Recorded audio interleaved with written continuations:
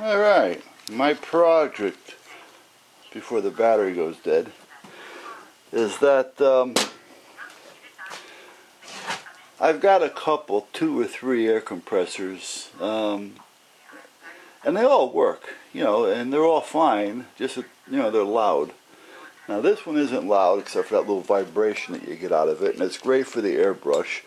Uh, however, even though it starts, you know, that little vibration part, it just it, sometimes it just aggravates me. I like it quiet, and it's always kicking on and off because you're always using the air.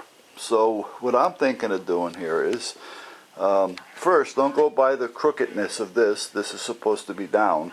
However, um, I did find a little leak on this side of the fitting, so I unthreaded it and put some dope on it and tightened it back up. That's why it ended up crooked. And once that dope cures, because I haven't got a wrench thin enough to go in there, and I really don't feel like grinding down a uh, snap-on right now to get in there, so I may go to the store and just buy an old piece of shit wrench, grind it down so I can get in there with it. Because um, even my wrenches that go with my tools and saws and stuff don't fit in there. Uh, don't fit that nut. They'll fit in, they just don't fit the, uh, the nut. So anyway, once that cures, I can probably back this off this side, and then I can put some dope on there and get it even the way I want. Uh, I'm not too concerned with that right now, only because I want to work on this on-off thing. I want to put a, uh, a reservoir there. So what I have is, is an empty tank. Well, it's almost empty.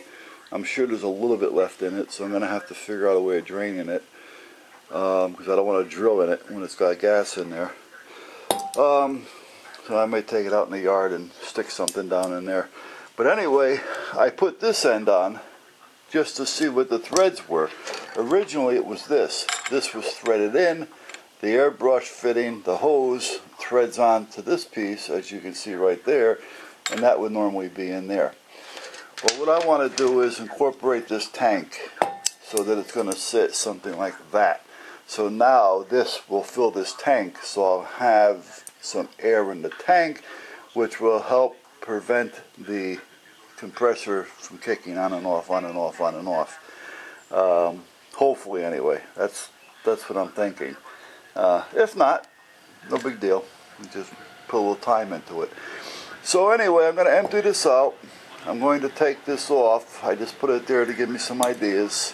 I'll unthread that because I do have some uh, some fittings. Excuse me for moving the camera around. But I've got another fitting here, so I'm thinking about fitting this into there.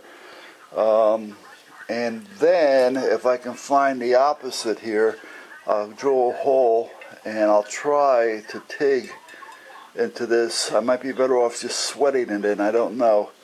Um, but MIG, TIG, I gotta see. I know these are real thin. I tried to tack to this once before on something else and I put a hole right through it. So I, I really don't know.